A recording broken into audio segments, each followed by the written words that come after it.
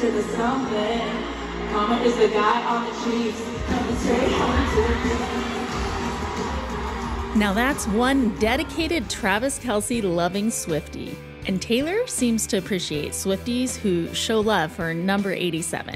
One lucky Swiftie family received a like on Instagram from the superstar herself after sharing a heartwarming post of them attending the Eras concert in Melbourne, Australia, all decked in friendship bracelets, number 87, and Kansas City Chiefs gear. The worst kind of person is someone who makes someone feel bad, dumb, or stupid for like being excited about something.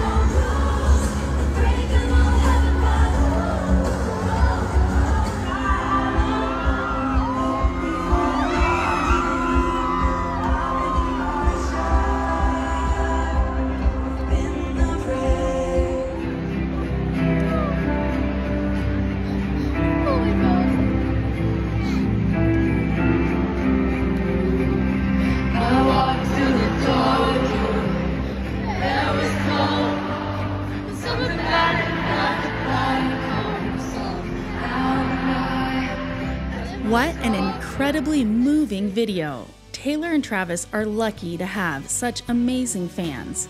Now, it appears as though Swifties in Sydney will get the experience of watching the show with the king of her heart in attendance because he recently landed in Sydney along with his close friend and former teammate Ross Travis. It will be so much fun to see Travis supporting Taylor and interacting with Swifties during this weekend's Eras concerts. Swifties have shown a lot of love for Travis, and he's shown a lot of love for Swifties as well. But did you know that even before Travis met Taylor, there were already some Swifties in Travis's corner? Some were even lucky enough to trade bracelets with the NFL star when he attended her Eras concert back in July. My heart's beating. Can we give you a break? Travis, do you want a friendship bracelet? Do you want do you want more? If you got one to spare, I'll take it. I've yes. You got one? All right, yeah, I'll take this one. Thank you. No, thank you, girls. Enjoy show, guys. Get him, count, get him.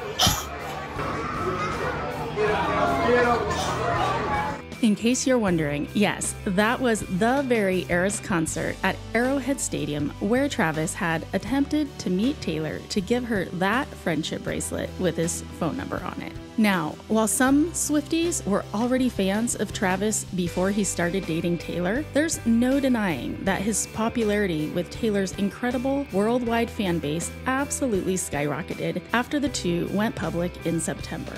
That was the moment that the Swifties and NFL worlds collided. a lot of Swifties, a lot of Chiefs fans, and I think like those two worlds colliding, like Chiefs Kingdom and like Swifties, is just amazing. And the viral debate began on whether or not Taylor had put Travis on the map. We challenge you guys to share your best Halloween costumes with the boys. One, two, three. Oh my gosh. Whoa! I did not expect that. Oh my goodness.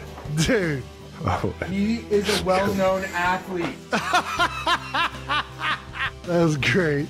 That was so good. I love how they had the countdown. How did the picture get on there? She put me on the map. How dare She you. put me on the map right there in the video.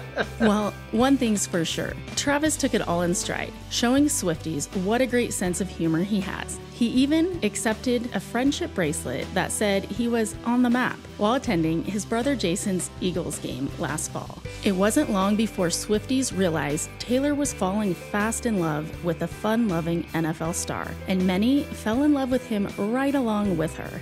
An especially heart grabbing flashback moment was when Taylor changed the lyrics of her song Karma to say, Karma is the guy on the Chiefs, and soon after ran into Travis's arms following her Eras concert in Argentina to give him a big kiss for all the world to see. And the Karma is the guy in the Chiefs lyric change continues to live on at Eras concerts with some Swifties taking their love for Karma and Taylor's boyfriend to the max.